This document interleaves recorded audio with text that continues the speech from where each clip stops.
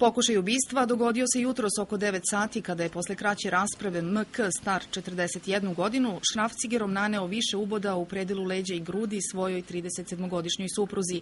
Prema rečima očevidaca, muškarac je napao ženu ispred vatrogasnog doma, ali su prolaznici uspeli da ga savladaju. Ona je sa ubodnim ranama utrčala u jedan frizerski salon, odakle su građani pozvali policiju i hitnu pomoć.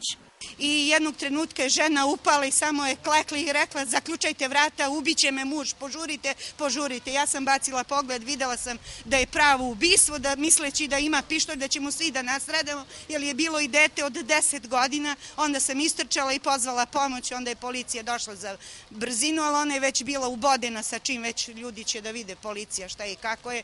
Hitna pomoć je brzo intervenisala i povređenu ženu prevezla u urgentni centar, gde je zbog povreda opasnih po život urađena hitna operacija.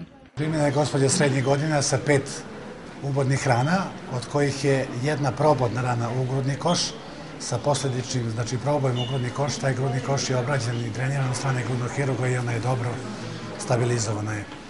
Gospodin koji je primjer na, neposredno iza nje ima sedam punktiformnih ubodnih rana po telu, grudnom košu i stomaku, ali su sve lake prirode, ovaj, njegovo stanje se prati i dobro je.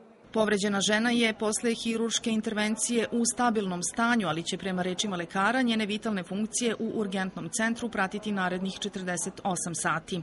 Napadač MK, čije su lakše povrede, takođe sanirane u urgentnom centru posle otpuštanja iz bolnice, prema saopštenju iz policijske uprave biće uhapšen i uz krivičnu prijevu sproveden višem javnom tužilaštvu u Kragujevcu zbog pokušaja ubistva.